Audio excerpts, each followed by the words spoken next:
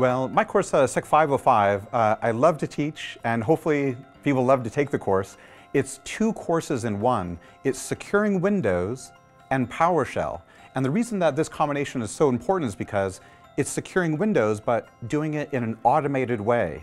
It's one thing to know that you need to make a change for the sake of security, but the other question is, how do you make that change across 10,000 boxes? And when it comes to Windows automation, that means PowerShell. That's why it's both put together, Windows security and PowerShell.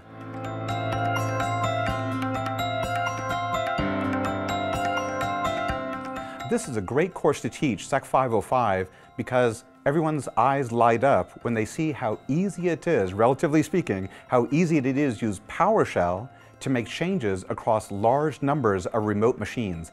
And in general, when everybody has like a sense that they're, they're more powerful, right? They can do things that they never thought that they could do before, especially so easily, then that's lots of fun.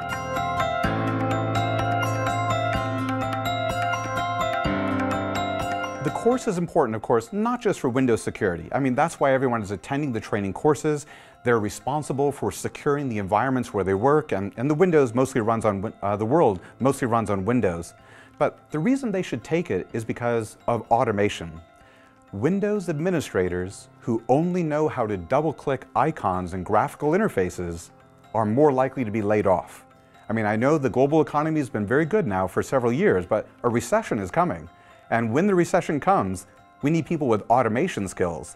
So as our networks get larger, as we move towards cloud computing, as we have more and more mobile devices, we have to have automation. And for automation on Windows, that means PowerShell.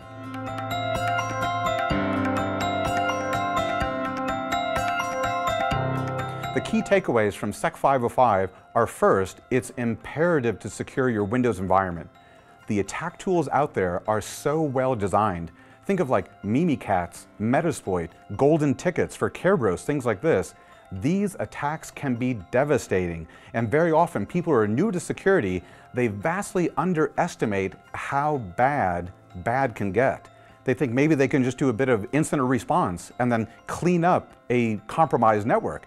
But that's not true. Sometimes the compromise can be so bad that you could spend years trying to get your adversaries out of your environment.